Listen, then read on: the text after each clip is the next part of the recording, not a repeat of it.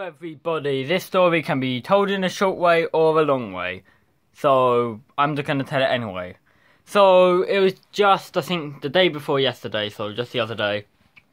And I was playing hide and seek with my with my sister up here.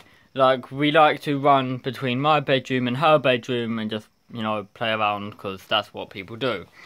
Anyway, so we were playing hide and seek and she hid a few times. I found her and I remember I hid under her blanket, obviously, and she found me because I wanted to play easy.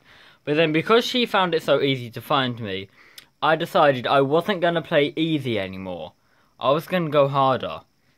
And so hard that I don't even consider it hard at all. Anyway, so I went to her room and I opened the door like like this.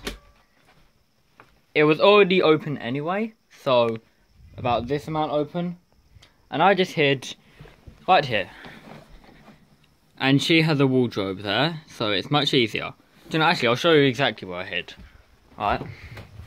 Sorry about the lighting. In there.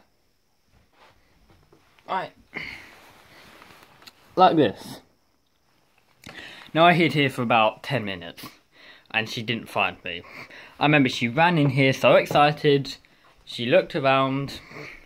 She, I remember I had put her blanket and her toys to make it look as if I was under there. That I got all the toys underneath it and made it look that way. Obviously more impressive than what I've just done. And she looked and was like, oh, he's not here. Then he ran out. Then she ran out, sorry. And she obviously was like, where is he? And asked Joseph. He didn't know. She also went in the bathroom and checked I wasn't there. And then she went to ask my mum, and my mum had not seen me either.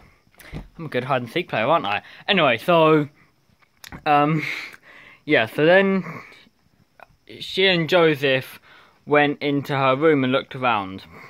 And I was hiding behind the door. And they were right at the wardrobe, right in front of me, looking like, oh, is he in the wardrobe? No. Is he hiding behind the toys? No.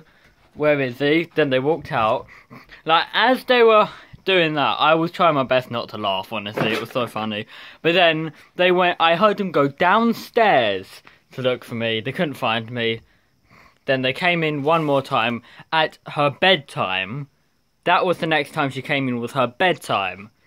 That's when she came in and I jumped out shouting, boo, you're terrible at this game. Anyway, thanks for watching and goodbye.